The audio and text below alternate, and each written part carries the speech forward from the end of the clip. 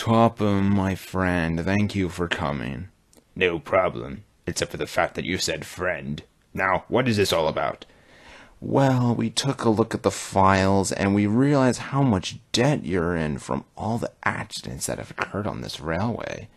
You also refused to advance to more modern diesel engines and continue to buy old steam engines. Now hold on, what does that have to do with The higher ups and I have come to the conclusion to have you step down from your title as controller of the railway.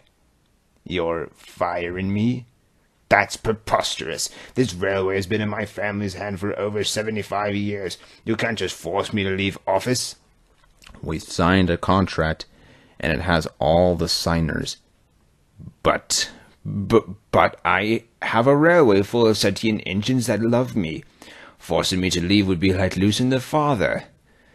Kids lose their fathers all the time in war, and I'm sure the engines will move on.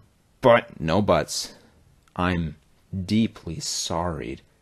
no, no, no. And that is the most likely way Sir Topham Hatt will lose his job as controller. Huh, that actually makes a lot of sense.